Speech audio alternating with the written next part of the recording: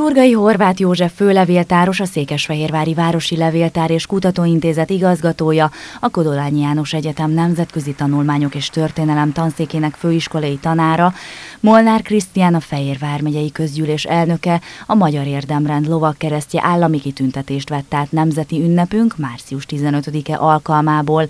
Állami kitüntetésben részesült Molnár István, a Magyar Közút Nonprofit ZRT.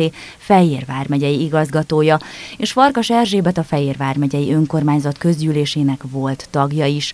Magyar Aranyérdemkereszt kitüntetést adományoztak, a magyarországi német nemzetiségi kultúra megőrzésében vállalt szerepe, valamint Mány község fejlesztése érdekében végzett tevékenysége elismeréseként Fuchs Jánosnak, a Fehérvár megyei német területi nemzetiségi önkormányzat tagjának, a Fehér megyei német önkormányzatok szövetsége egyesület és a Mányi német nemzetiségi önkormányzat elnökének és Magyar Érdemrend lovak kereszt polgári tagozat kitüntetésben részesült Bicó Piroska régész a Magyar Nemzeti Múzeum nyugalmazott főmúzeológusa, valamint Őrsi Ferenc ipari forma tervező.